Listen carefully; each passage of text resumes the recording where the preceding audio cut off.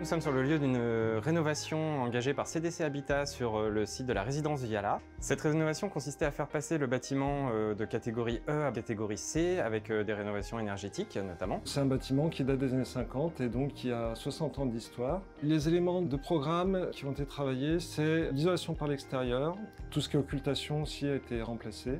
Le chauffage avec euh, radiateur et système de chauffage chaudière individuelle gaz. L'aspect extérieur a été modifié, mais le moins possible puisque le but c'était de rester dans l'état d'esprit des bâtiments environnants dans le quartier. Nous mettons un accent fort sur l'accueil de nos nouveaux arrivants ou des habitants déjà euh, présents sur l'arrondissement, notamment sur le parc social, non seulement sur le plan de la praticité des logements, mais également sur le plan énergétique. C'est une réhabilitation site occupé, c'est-à-dire avec les locataires qui sont dans leur logement. On essaie de faire en sorte que ça se passe bien. C'est une collaboration en fait entre les locataires, les entreprises, nous et le maître d'ouvrage. C'est une belle opération qui s'est très bien passée et je pense que le résultat est à la hauteur. Nous sommes ravis de voir les bailleurs sociaux comme CDC Habitat rénover euh, entièrement une résidence sociale.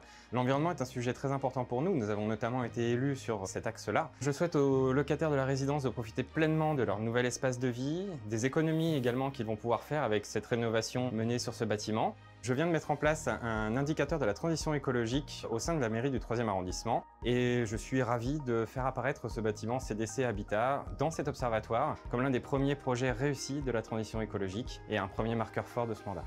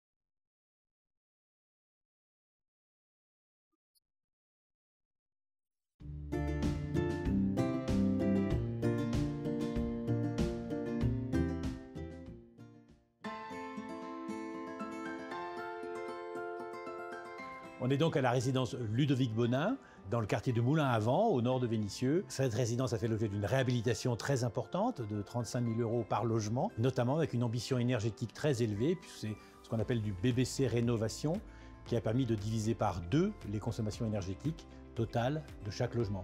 C'est bien sûr un des objectifs euh, politiques de la ville de Vénissieux, d'accompagner euh, et de veiller à ce qu'il y ait le maximum de réhabilitation. Cette opération a d'ailleurs bénéficié de la politique métropolitaine qu'on appelle Éco-Rénov, qui est là justement pour accompagner ces transformations du logement.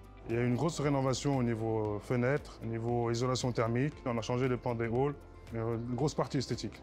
Ça a vraiment changé l'image de la résidence c'est vraiment un plus. C'est très important de valoriser correctement ces logements que certains pourraient considérer, parce que c'est du logement social, comme des logements de moins bonne qualité. Or, ces logements sont de très bonne qualité, euh, historiquement, structurellement. Je pense que c'est très réussi. Mon rôle, c'était d'accompagner les locataires pour leur proposer un logement en relais et de suivre les travaux avec les entreprises qui intervenaient chez les locataires. Pour le moindre problème, on est toujours disponible.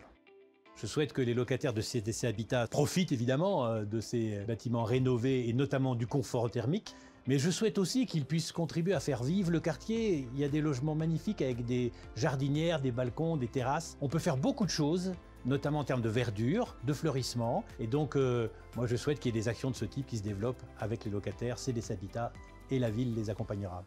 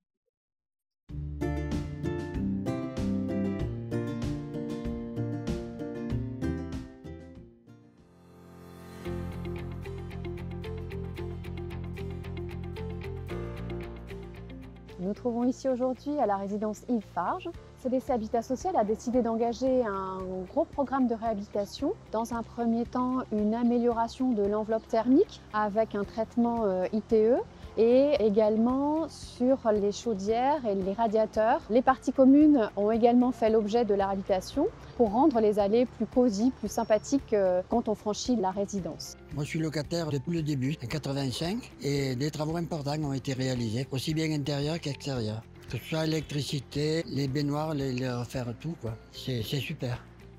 Les efforts de CDC Habitat répondent à nos attentes. Nous, euh, dans nos orientations, on veut euh, lutter contre le changement climatique. Et avec l'opération euh, qu'a menée CDC Habitat, ça va permettre d'économiser l'énergie. On lutte aussi grâce à ça contre la précarité énergétique, dont sont touchés près de 6 millions de Français aujourd'hui. Et grâce à la réhabilitation que CDC Habitat a fait, eh bien, on améliore la qualité de vie des ménages. Je crois que les bailleurs ont un vrai rôle à jouer dans la nature en ville. C'est une vraie attente des habitants et habitantes du 7e arrondissement, mais euh, aussi d'ailleurs. Aujourd'hui, il y a des jardinières au balcon, il y a de la pleine terre dans les espaces communs. On entend les petits oiseaux autour de la résidence en plein cœur de Lyon. Donc je souhaite à tous les locataires des résidences euh, Yves Farge de profiter de ces presque nouveaux euh, logements, de regarder bien leur facture énergétique pour voir comment ça évolue et puis profiter de toute cette nature en ville et de cette biodiversité.